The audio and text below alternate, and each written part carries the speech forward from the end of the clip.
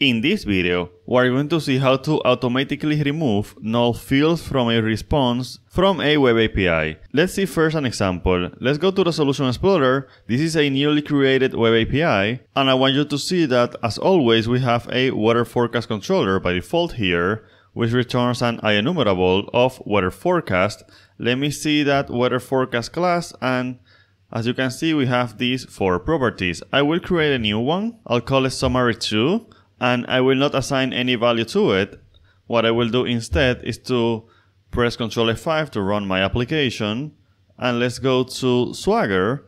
Let's come here and let's see that if we execute, we're going to see that we have summary2 null. But what if I don't want to show in my JSON response these null values? Well, for that we have two options. The first one is to make a global configuration. With a global configuration, we're going to configure the removal of null values at the application level. Let's see that first. Let's go to the Solution Explorer and let's go to the program class. And here we have builder services add controllers. And in here I can do the following. I can say dot add JSON options options and then I can say options dot JSON serializer options default ignore condition equal to this dot when writing null. Let me put this in a way that you can visualize everything. So as you can see here, what we're saying is that we want to, by default, ignore properties that are null. And that's it. With this, we're good to go. Let me press Ctrl F5 to run my application and let's come back here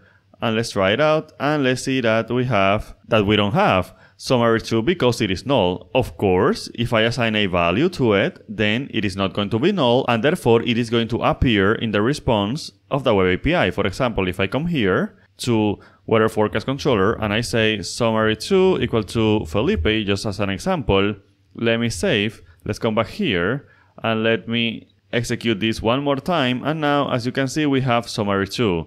Now maybe you don't want this, maybe you don't want this configuration at the application level. Maybe you just want it at the level of a specific action, at the level of a specific endpoint. Let's see that.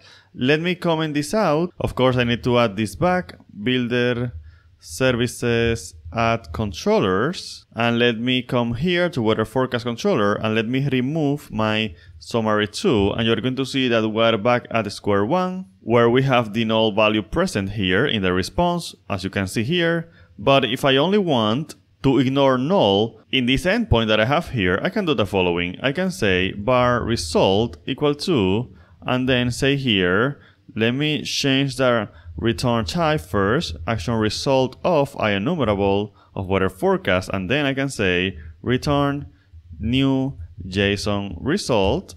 Then I will say result and then new JSON serializer options. And of course, as you can see here, if you are using system.text.json, then you have to use JSON serializer options. Otherwise, if you are using Newtonsoft JSON, then you have to use JSON serializer settings. But in our case, we're using system.text.json and therefore we have to use JSON serializer options. Control dot to bring the corresponding namespace and in here, I can pass that same configuration that we did in the program class this one that we have here, default ignore condition equal to when writing null. So I can copy that, I can come back to the controller and paste that here. Let me remove this comment and that's it.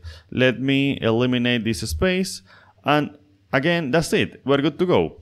Let me press Ctrl F5 to run my application. And now let's go to Google Chrome and let's see that now we don't have summary2 here anymore because it is null. So as you can see, we have two options. We can configure this at the endpoint level or we can configure it at the application level.